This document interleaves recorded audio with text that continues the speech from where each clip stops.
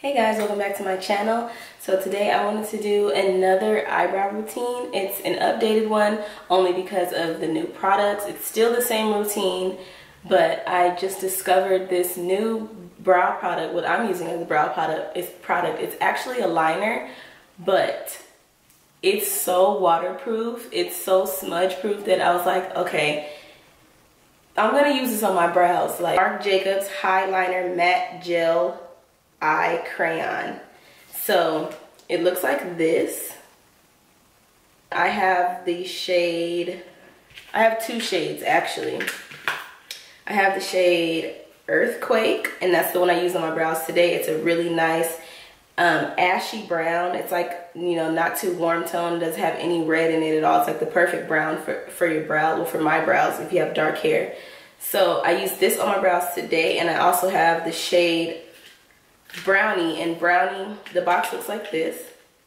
And brownie comes in a more I would say warm tone brown and has more red in it. So if your hair is lighter like I do plan on dyeing my hair blonde-ish light brown blonde. So I think I will switch over to using this one when I dye my hair. But for dark hair I'm going to stick with the earthquake. I received these products complimentary for review purposes.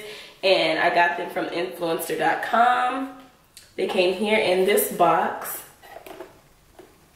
so I'll leave the link below for you guys, but influenster.com is such an amazing website. It's like great for beauty bloggers like myself and like whoever else is watching this.